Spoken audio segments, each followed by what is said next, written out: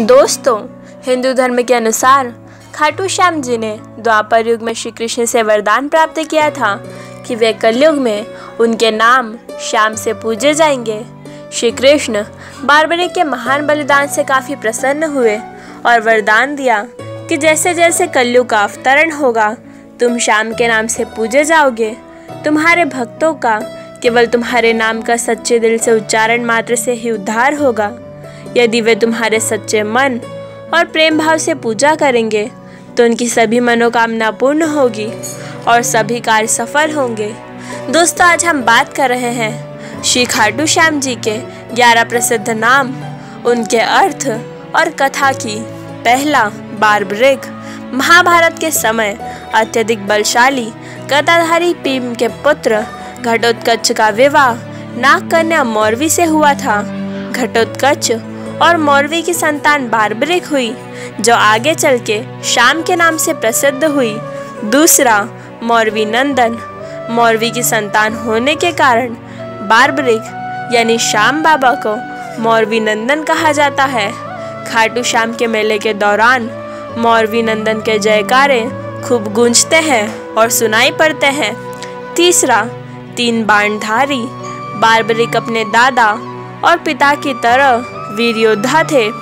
वीर barbaric के पास तीन बाण ऐसे थे, जिससे वे संपूर्ण ब्रह्मांड को जीत सकते थे। इसलिए श्याम बाबा को तीन बाणधारी कहा जाता है। उनके जैसा संपूर्ण लोक में ना तो कोई धनुर्धर था, ना कोई धनुर्धर आज तक हुआ है, और ना ही कोई धनुर्धर होगा। चौथा, शीश के दानी। महाभारत युद्ध के दौरान जब बारबरिक अपनी माँ से आशीर्वाद लेने पहुँचे तब माँ ने उनसे हारे हुए पक्ष का साथ देने का वचन लिया। यानी जिसकी युद्ध में हार होगी, वे उसकी तरफ़ से युद्ध लड़ेंगे। भगवान श्री कृष्ण तो सर्वव्यापी थे। उन्हें पता था कि हार कौरवों की होनी है। ऐसे में बारबरिक उनकी तरफ़ से युद्ध लड़ेंगे तो स्थिति बदल सकती है। ऐसे में उन्होंने ब्राह्मण का वेश धारण किया और फिर शीश मांग लिया। बारबरिक ने अपना शीश दान कर दिया। इस कारण श्याम बाबा को शीश का दानी कहा जाता है। पांचवा, श्री श्याम। श्री कृष्ण ने बारबरिक को शीश दान मांगने की वजह भी बताई। उन्होंने कहा कि युद्ध आरंभ होने से पूर्व युद्ध भूमि पूजन के लिए तीनों लोकों में सर्वश्रेष्ठ क्षत्रिय के शीश की आहुति देनी होती है। इसलिए ऐसा करने के लिए वे विवश थे। बारबरिक ने उनसे प्रार्थना की कि वे अंत तक युद्ध देखने और अपना नाम उन्हें देने की प्रार्थना करें। श्री कृष्ण ने उनकी तरह प्रार्थना स्वीकार कर ली। श्री कृष्ण इस बलिदान से प्रसन्न होकर बारबरिक को युद्ध में सर्वश्रेष्ठ वीर की उपाधि से अलंकृत किया। साथ ही अपना नाम श्याम भी उन्हें दे दिया।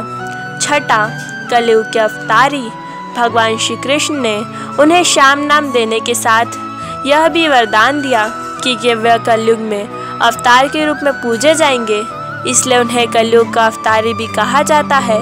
अभी कलयुग चल रहा है और ऐसे में श्याम बाबा के भक्तों ही आस्था का केंद्र है। हर साल लाखों की संख्या में भक्त बाबा के दरबार में आकर हाजिरी लगाते हैं। सातवां लीले का अश्वार श्याम बाबा को लीले का अश्वार कहा जाता है। दरअसल वीर बारबरी के पास नीले रंग का घोड़ा था। नीले रंग को स्थानीय भाषा में लीला भी कहा जाता है। इसलिए उन्हें नीले का अश्वार या लीले का अश्वार कहा जाता है। आठवां, लखदातार।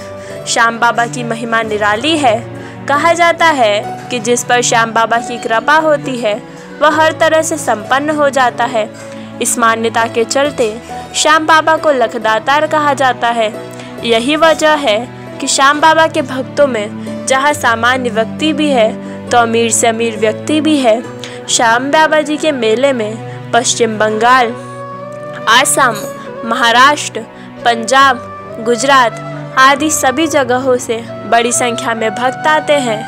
नवा, हारे का सहारा, जब सब जगह से निराश व्यक्ति श्याम बाबा की भक्ति में लीन हो जाता है तो उसके समक्त दुख और पाप समाप्त हो जाते हैं। इसलिए श्याम बाबा को हारे का सहारा कहा जाता है।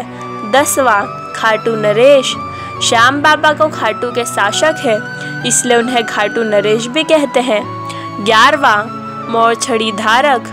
श्याम बाबा, चूँकि भगवान श्री कृष्ण का आशीर्वाद प्राप्त है, इसलिए श्री कृष्ण की प्रिय वस्तु मोर पंखी, बांसुरी भी उनको प्रिय है।